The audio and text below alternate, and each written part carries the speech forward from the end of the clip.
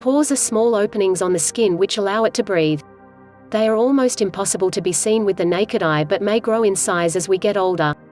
Enlarged pores look really unpleasant and can ruin your appearance, which is why everyone wants to resolve the problem as soon as they can. Instead of using commercial products and treatments, try using these natural remedies against aloe vera gel.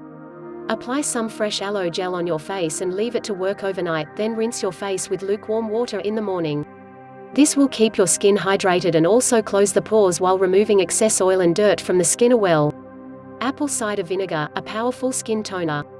Mix a tablespoon of ACV with 5 tablespoons of water and pour the mixture into a spray bottle and use it as a natural toner.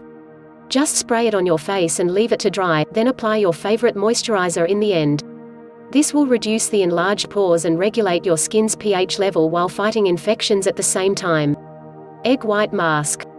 Here's a nice egg white mask that will tighten your skin and reduce the appearance of the enlarged pores.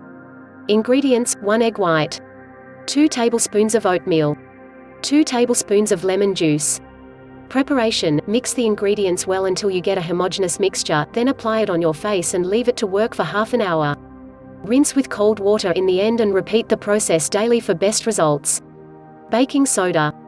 Prepare a paste of equal amounts of baking soda and water and apply it on your face, then massage it in for a minute before rinsing with water.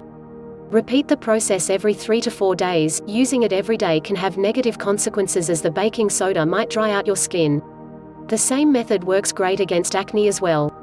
If you're the unfortunate sufferer of enlarged pores, try these remedies and we promise that you'll be stunned by the results.